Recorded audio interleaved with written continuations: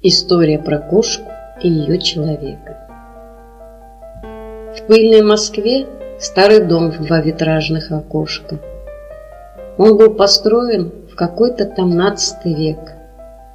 Рядом жила ослепительно черная кошка.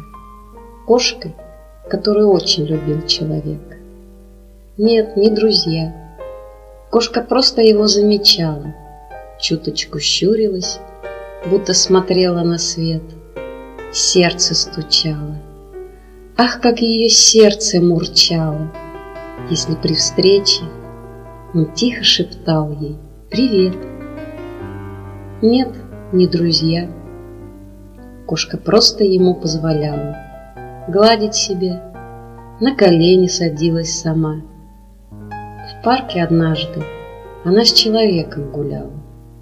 Он вдруг упал но окошко сошла вдруг с ума. Вылась соседка, сирена, неслась не от ложка. Что же такое творилось у всех в голове? Кошка молчала. Она не была его кошкой. Просто так вышло.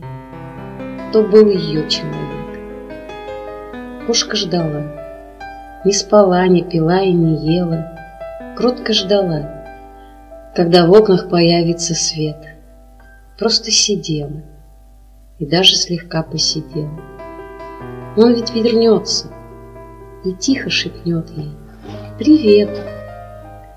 В пыльной Москве старый дом в два витражных окошка, минус семь жизней и минус еще один век. Он улыбнулся.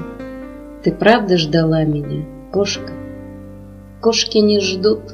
Глупый, глупый ты мой человек.